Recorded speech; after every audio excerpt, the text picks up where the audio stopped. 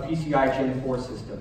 And this is running the upcoming 3D Mark PCI Express feature test, which is designed to answer the question, how much extra graphics performance can you get from PCI Gen 4 versus Gen 3? And the answer is clear, and it's large. Up to 69% more performance for graphics from having PCI Gen 4, which is made more we're running about 25 frames per second on the AMD system and about 14 frames per second on the, the Intel system.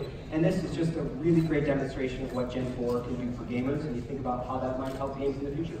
Fantastic. Robert, thanks so much. Thank so much. 20 running, and I was thinking back to my time as a reviewer looking at AMD's K7 and K8 architectures a long time ago. And we've used Cinebench for over 15 years to reliably and quickly test the performance of a processor. And now we're on Cinebench R20, which came out just last month. And what you'll see on your right is the Ryzen 7 3700X versus on the left, the Core i7 9700K. And as we churn through this realistic ray trace scene, you may notice that the Ryzen 7 3700X is uh, quite a bit faster. In fact, it's about one third faster than the competing part. And that's really a testament to the compute performance of Zen 2 and the density that the 7 nanometer Zen 2 architecture brings to a chip. Fantastic. And uh, it, it's just a monster performance. And I think if content creators really, really want something special, that's just 65 watts. This is a beautiful, beautiful part. And uh, our competitor is still going.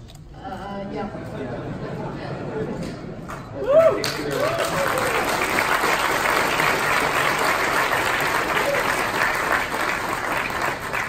done? Almost there. Almost. Almost. Okay. It takes a little while. All right, there we All go. right. All right. Well, thank you so much. Versus our beautiful Ryzen 7 3800X. Both of them 8 cores, 16 threads.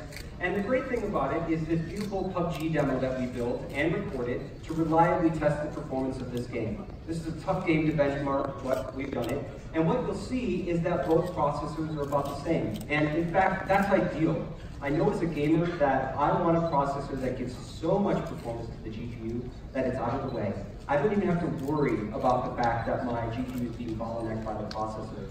So the Ryzen 7 3800X, if you are looking for a chip that gives you the performance you need for those high-end GPUs, this is it. It's the best game in town. And if you add in all the other technologies, like Gen 4 and 7 nanometer, it's the only choice. Fantastic. All right. Against Intel's HEDT socket. This is a $1,200 processor on the left versus the AMD Ryzen 9 3900X on your right. And we're running Blender which is trusted by many content creators to evaluate 3D rendering performance. And it's just a really great content creation tool. And what you see from every box is a processing thread. And as we come to the finish, the difference is clear. We finished in about 32 seconds versus the competitor's 38 seconds. And that's about an 18% performance improvement for AMD. And we're going core to core, 12 versus 12, which means Zen 2 is simply faster. Fantastic!